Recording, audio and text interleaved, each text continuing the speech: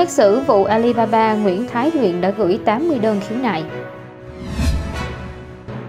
Người bán vé số đâm khách trọng thương vì mâu thuẫn. Nghi phạm cướp tiệm vàng Bắc Giang khai gì? Người phụ nữ bị đối tượng giả nhân viên chống thấm kề dao cướp tiền. Đã bắt được khỉ hoang quậy phá người dân Hà Nội. Xin kính chào quý vị và các bạn đến với bản tin trên kênh YouTube của báo Sức khỏe và đời sống. Bản tin sẽ cung cấp cho quý vị và các bạn những thông tin mới nhất, nhanh nhất về tình hình an ninh trật tự, an toàn xã hội. Vừa rồi là những tin chính sẽ có trong bản tin ngày hôm nay. Ngay bây giờ, xin mời quý vị và các bạn cùng đến với nội dung chi tiết. Thưa quý vị, tính tới ngày 10 tháng 12 đã là ngày thứ ba xét xử Nguyễn Thái Luyện, chủ tịch công ty cổ phần Alibaba, cùng đồng phạm về tội lừa đảo chiếm đoạt tài sản và rửa tiền. Với những con số khủng được xác lập trong vụ án, hội đồng xét xử sẽ phải trải qua 2 tháng làm việc căng thẳng để làm rõ tất cả các tình tiết trong một triệu bút lục và 500 trang cáo trạng. Trả lời thẩm vấn của luật sư Nguyễn Đức Thắng Ý bào chữa cho Võ Thị Thanh Mai và Nguyễn Thái Lực, bị cáo Nguyễn Thái Luyện tiếp tục khẳng định không lừa đảo chiếm đoạt số tiền gần 2.400 tỷ đồng của 4.560 khách hàng như cáo trạng truy tố. Luyện vẫn khẳng định mình bị oan, số tiền và danh sách khách hàng trên là những người đang đầu tư tại công ty có đầy đủ hợp đồng thỏa thuận chuyển nhượng quyền sử dụng đất. Đây là những hợp đồng thỏa thuận dân sự hợp pháp có ghi rõ thời hạn.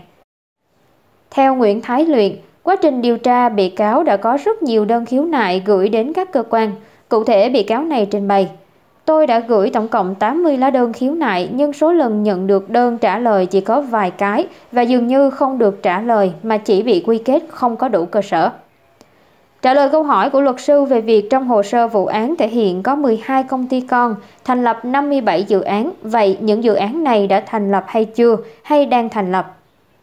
Nguyễn Thái Luyện cho rằng dự án là khái niệm nói về những dự định sẽ được thực hiện trong tương lai. Dù dự án đã hay đang thực hiện dự án đều được gọi là dự án.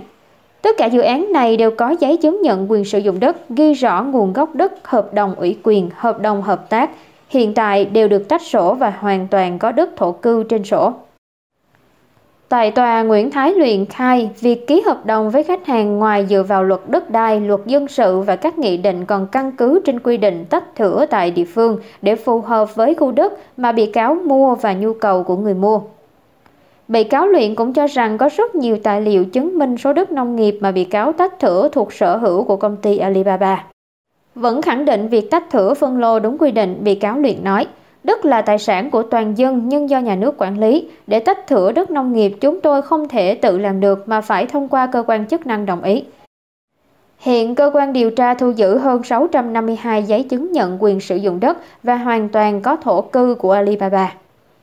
Trước đó, trả lời câu hỏi của luật sư liên quan nội dung cáo trạng thể hiện có hơn 4.500 bị hại, đa số đều mua đất trong 57 dự án của Alibaba. Nguyễn Thái Luyện nói chưa xem lại tài liệu cụ thể nhưng khẳng định số liệu trong cáo trạng có nhiều thay đổi. Luyện nói, tôi khẳng định số liệu trong cáo trạng có sự thay đổi, số lượng khách hàng tôi nhớ nhiều hơn thế rất nhiều. Không biết lý do gì, có thể là họ tin tưởng bảo vệ công ty nên không làm đơn. Theo Nguyễn Thái Luyện, công ty Alibaba có vài trăm nghìn người đã ký hợp đồng. Trung bình mỗi tháng công ty này bán từ 1.500 đến 2.000 sản phẩm. Trong đó có những sản phẩm 2 đến 3 người đồng sở hữu. Do vậy, số người mua đất phải nhiều hơn rất nhiều con số khoảng 4.500 người mà cáo trạng nêu.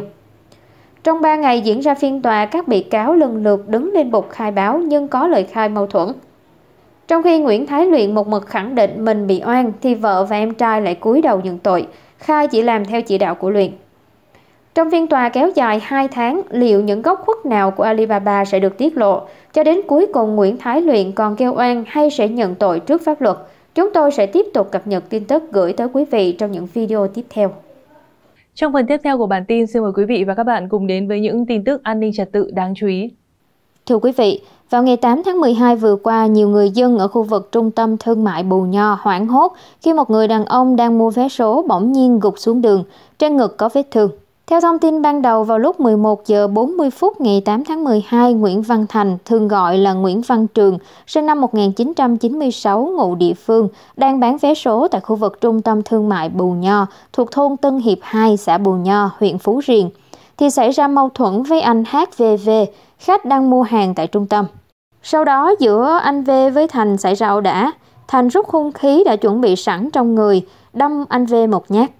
Do vết thương nặng, anh V bị gục xuống đường và được mọi người đưa đi cấp cứu. Công an xã Bù Nho tiếp nhận tin báo nên đến ngay hiện trường đưa Thành về làm việc. Tại cơ quan công an, Thành đã khai nhận toàn bộ hành vi.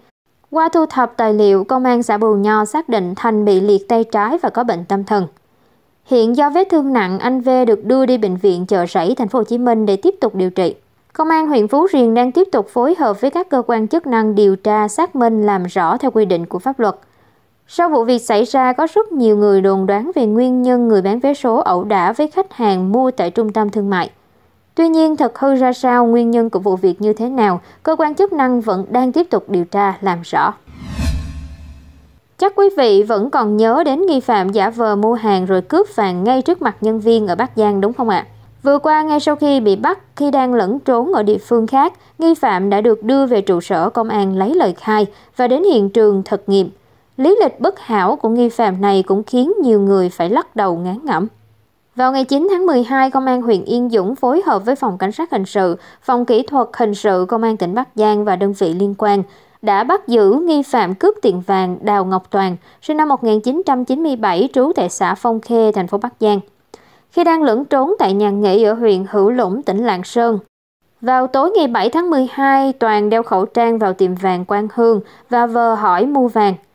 Sau khi cầm một dây và mặt dây chuyền vàng, nghi phạm dùng xịt hơi cay chống trả bảo vệ, nhân viên bán hàng rồi lên xe máy tẩu thoát. Nghi phạm khai đã mua trên mạng bình xịt hơi cây và khẩu súng giả để thực hiện hành vi cướp tài sản. Sau khi cướp số vàng trị giá khoảng 80 triệu đồng, Toàn mang đến cửa hàng vàng trên địa bàn thành phố Bắc Giang bán được hơn 76 triệu đồng. Sau đó, người đàn ông này bắt taxi lẫn trốn tại nhà nghỉ ở huyện Hữu Lũng, Lạng Sơn. Nghi phạm đã dùng số tiền bán được vàng để đánh bạc trên mạng mua điện thoại iPhone, quần áo. Sau khoảng 40 giờ gây án, Toàn bị lực lượng chức năng bắt giữ. Được biết, Toàn từng có một tiền án về tội lạm dụng tín nhiệm chiếm đoạt tài sản với bản án hơn 10 tháng tù giam. Vào năm 2017, Toàn ra tù trở về địa phương. Vào năm 2019, Toàn đi theo mẹ sang Đài Loan, Trung Quốc để sinh sống và làm việc, nhưng vào tháng 4 năm 2022 bị trục xuất về nước. Bố mẹ Toàn ly dị từ năm đối tượng mới học lớp 7, mẹ định cư ở nước ngoài. Toàn bỏ học giữa chừng, nay đây mai đó. Không có công ăn việc làm mà lại muốn ăn chơi, hắn thường xuyên đánh bạc trên mạng. Toàn khai nhận sau khi cướp được vàng tôi về trả xe cho bạn rồi đến khu vực chợ Thương, thành phố Bắc Giang bán vàng. Cầm toàn bộ số tiền hơn 76 triệu đồng, tôi bắt xe khách lên thẳng thị trấn Hữu Lũng, Lạng Sơn. Số tiền bán vàng tôi mua một điện thoại iPhone 12 Pro Max, một bộ quần áo, một đôi giày và đánh bạc zip VIP qua mạng. Hiện còn hơn 17 triệu đồng. Bà Đỗ Thị Hương, chủ cửa hàng vàng bạc Quang Hương nói, Tôi rất vui khi các anh công an đã nhanh chóng tìm ra thủ phạm. Sau sự việc này, gia đình sẽ quan tâm hơn nữa đến công tác bảo đảm an ninh, phối hợp với công an có biện pháp hướng dẫn nhân viên các kỹ năng nhằm đảm bảo an toàn tính mạng và tài sản. Trong những ngày cận kề Tết Nguyên đán năm 2023, tội phạm cướp giật trộm cắp sẽ ngày càng manh động làm liều.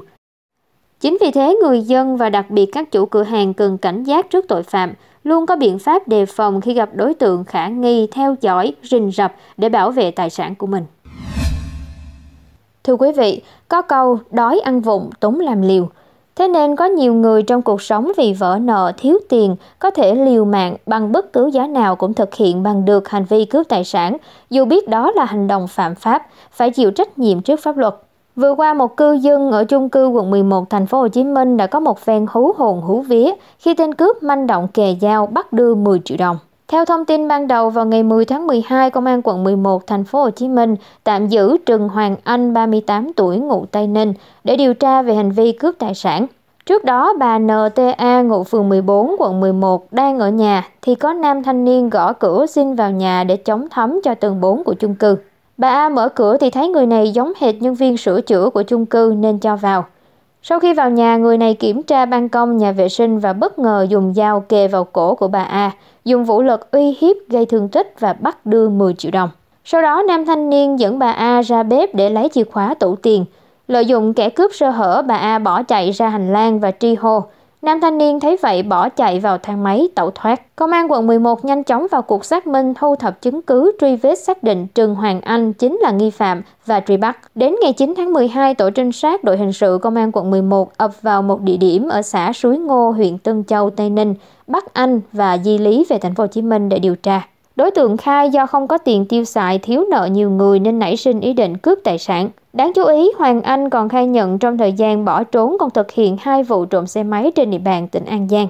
Theo dõi vụ việc, bên cạnh sự sợ hãi khi đối tượng ngang nhiên làm liều giữa ban ngày ban mặt, nếu người phụ nữ không nhanh trí lợi dụng sơ hở của kẻ cướp, tri hô hoặc giả như đối tượng không biết sợ, tiếp tục khống chế nạn nhân thì không biết chuyện gì sẽ xảy ra.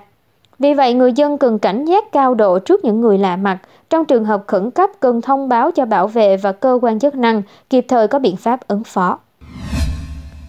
Chúng tôi xin được chuyển sang tin tức về con khỉ hoang gây bão cộng đồng mạng trong thời gian gần đây.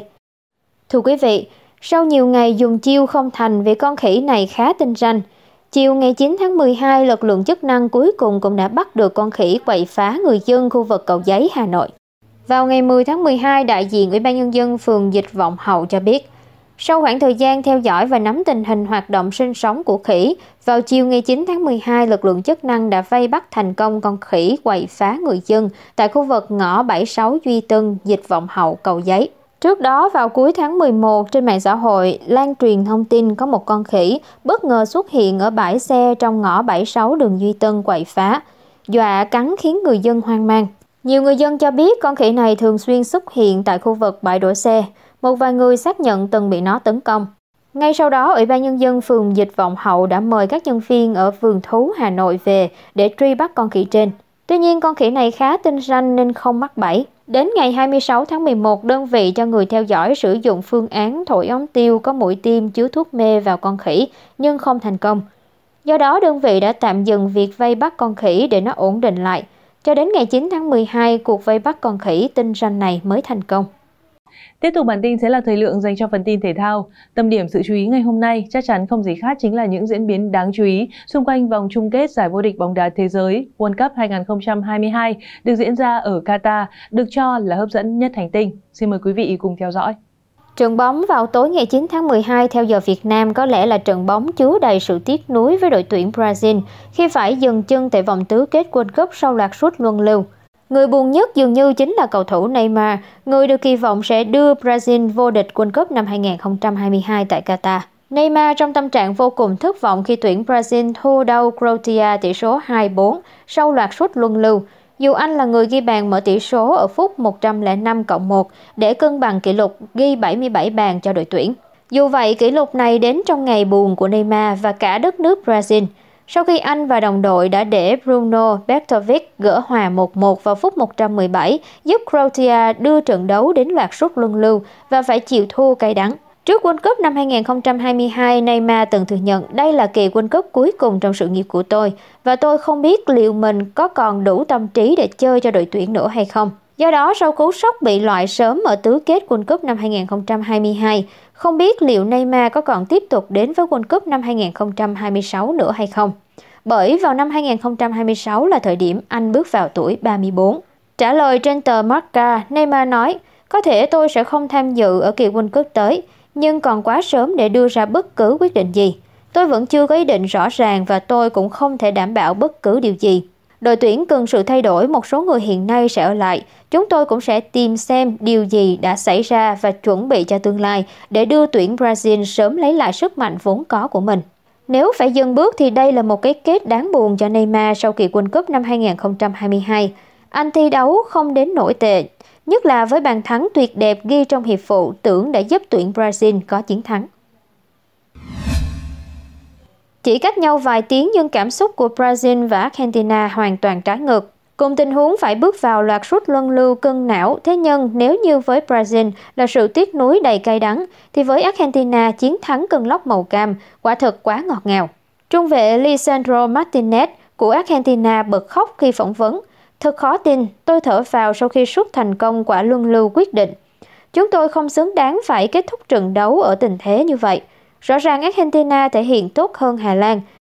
Tôi muốn ôm các đồng đội và ban huấn luyện. Martin đá chính trong hệ thống ba hậu vệ bên cạnh Nicolas Otamendi và Cristina Romero ở trận gặp Hà Lan. Marcos Acuna và Milona án ngữ hai cánh. Với sơ đồ 5-3-2, huấn luyện viên Lionel Scaloni muốn hạn chế những pha tấn công biên của đại diện đến từ châu Âu khi bộ đôi Dali Berlin và Denden Dumfries đang có phong độ cao. Argentina thực sự gây nhiều khó khăn cho Hà Lan với hệ thống năm hậu vệ và khiến đại diện châu Âu bế tắc trong phần lớn thời gian thi đấu. Martin chơi nỗ lực trong thời gian có mặt trên sân. Anh góp sức cùng Otamendi và Romero kiêm tỏa bộ ba Cody Gakpo, Steven Squin và Debay của Hà Lan. Martin bị thay ra ở phút 112 bởi Angel de Maria, trung vệ của MU thực hiện 4 pha truy cảm thành công, đạt tỷ lệ 100%, hai lần tắt bóng hiệu quả và hai lần can thiệp kịp thời. Đây là kỳ World Cup đầu tiên Martin được góp mặt. Anh ra mắt đội tuyển quốc gia từ năm 2019 và hiện mới chơi 14 trận. Trung vệ 24 tuổi này gây được ấn tượng với huấn luyện viên Scaloni nhờ phong độ thuyết phục ở MU trong giai đoạn đầu mùa năm 2022 năm 2023.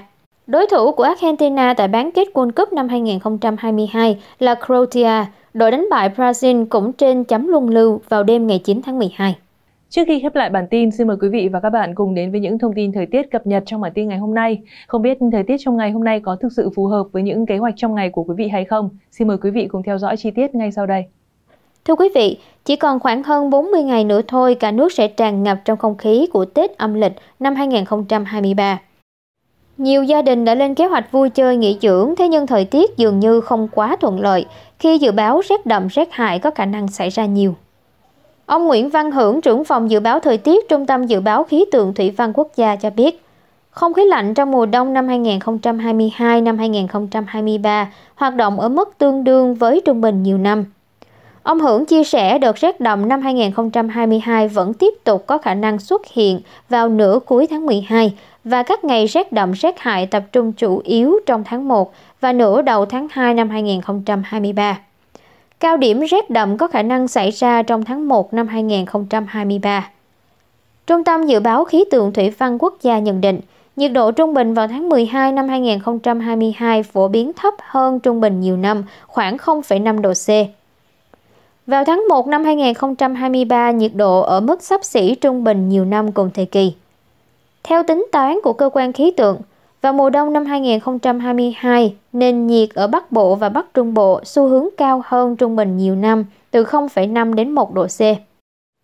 Enso chỉ cả hai hiện tượng El Nino và La Nina và có liên quan với dao động của khí áp giữa hai bờ phía đông Thái Bình Dương với phía tây Thái Bình Dương, Đông Ấn Độ Dương được gọi là dao động nam, có khả năng tiếp tục duy trì ở trạng thái La Nina hay hài đồng nữ là hiện tượng lớp nước biển bề mặt ở khu vực xích đạo trung tâm và Đông Thái Bình Dương lạnh đi dị thường.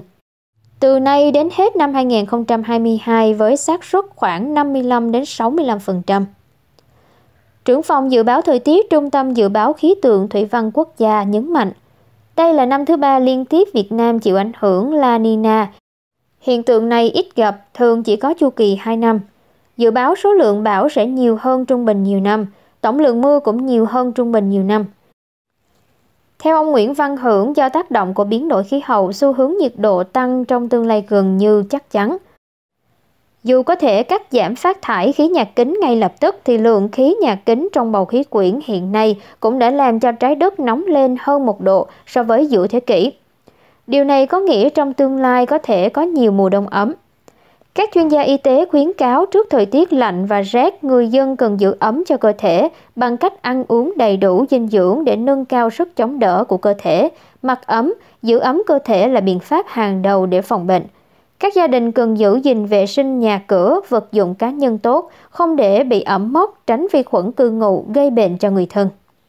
Thông tin vừa rồi cũng đã khép lại bản tin ngày hôm nay. Cảm ơn quý vị và các bạn đã quan tâm theo dõi. Hãy nhấn đăng ký kênh để không bỏ lỡ những thông tin hấp dẫn khác trong bản tin của chúng tôi. Còn bây giờ xin kính chào tạm biệt và hẹn gặp lại.